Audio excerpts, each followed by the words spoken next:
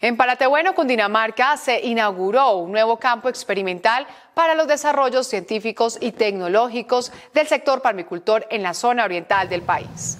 Nuestra periodista Angie García recorrió a detalle este lugar. Angie, buenas noches. ¿Con qué se encontró?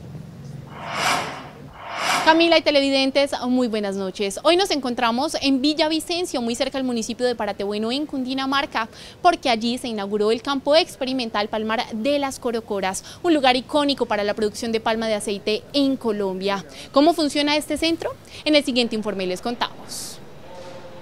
Atender la agronomía del cultivo de palma con énfasis en el manejo de suelos y en el procesamiento del fruto es uno de los objetivos principales para el nuevo campo experimental Palmar de las Corocoras, un lugar icónico para la palmicultura colombiana. Encauzar la investigación que adelanta Cenipalma para hacerla pertinente a las condiciones de la zona oriental en materia de suelos, en materia de oferta ambiental, plagas y enfermedades, manejo agronómico definitivamente va a generar investigaciones que otros no harían por el gremio. Aquí se van a hacer las investigaciones específicas que el sector necesita con una ventaja muy importante, aplicadas a las condiciones de esta región.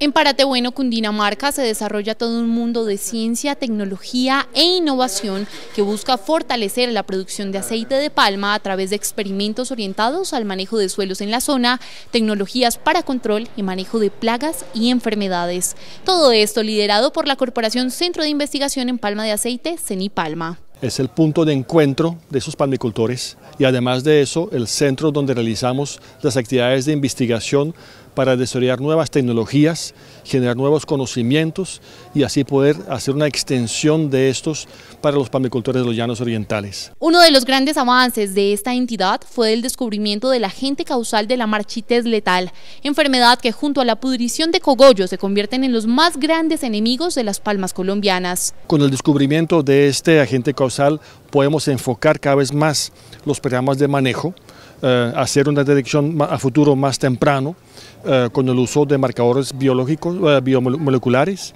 y eh, también entendiendo mucho más de la dinámica de la enfermedad, de hospederos alternos y de vectores. A través de nuestros campos experimentales en cada una de las zonas hacemos investigación específica del comportamiento de esa enfermedad, pero también de plagas, enfermedades, manejo agronómico, para que las alternativas de manejo y solución sean pertinentes para cada una de las zonas.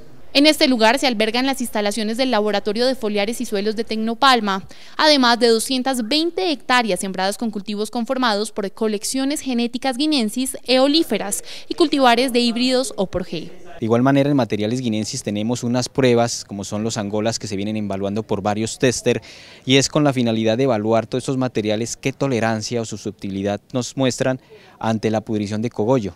De igual manera acompañado de manejos con la finalidad de que ese, ese problema que nos disminuye la caja de flujo, que nos disminuye la rentabilidad, realmente lo podamos solventar en el corto tiempo, dándole respuesta al agricultor. Con el campo experimental Palmar de las Corocoras, Senipalma completa cuatro centros de estas características, distribuidos en las zonas palmicultoras más importantes del país.